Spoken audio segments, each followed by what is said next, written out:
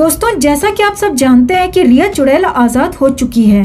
वो एनसीपी मामले में जेल गई थी, मगर अब इस मामले में भी उसकी आज़ादी हो चुकी है। वहीं अब बाहर निकलकर उसने अपना असली रंग दिखाना शुरू कर दिया है।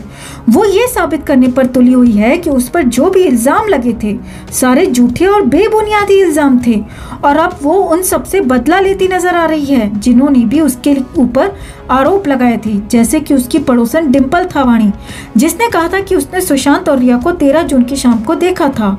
वहीं अब वो अंकिता लोखंडे पर भी केस करने जा रही है।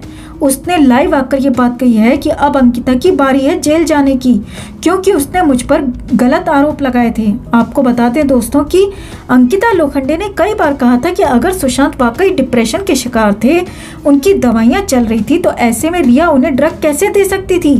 क्योंकि हम सब जानते हैं कि ड्रग और डिप्रेशन की दवाइयाँ मिलाकर खिलाने से कितने घातक परिणाम आ सकते हैं। इसी बात के तहत अब रिया अंकिता पर केस करने जा रही है और उसने कहा कि अब वो अंकिता को जेल पहुँचा के रहेगी।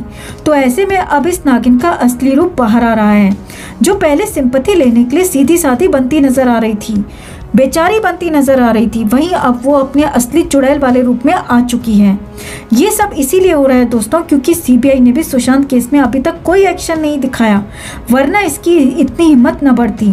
ये समझ चुकी है कि सीबीआई ने तो अब तक कुछ किया ही नहीं। एनसीबी मामले में भी मैं छूट गई और अब मैं आज़ाद हूँ और उन सब लोगों को सबक सिखाऊँगी जिन्होंने मुझ पर आरोप लगाए। ऐसे में हम इस चुड़ैल से कहना चाहते हैं कि अगर ये इस दुनिया के कानून से बच भी गई तो ऊपर वाले की लाठी से कभी नहीं बच पाएगी। अगर सीबीआई ने न्याय नहीं भी किया तो वो ऊपर वाला सुशांत का इंसाफ ज़रूर करेगा। इस चुड़ैल को इसके कर्मों की सजा किसी न किसी रूप में ज़रूर मिलेगी, दोस्तों। आप इस चुड़ैल से क्या कहना चाहेंगे, कमेंट में ज़रूर बताएँ। जस्टिस फॉर सुशांत के लिए इस खबर को ज़्यादा से ज़्यादा लाइक और शेयर करना ना भूलें। हर अपडेट के लिए बने रहें हमारे साथ, क्योंकि आप हैं तो हम हैं।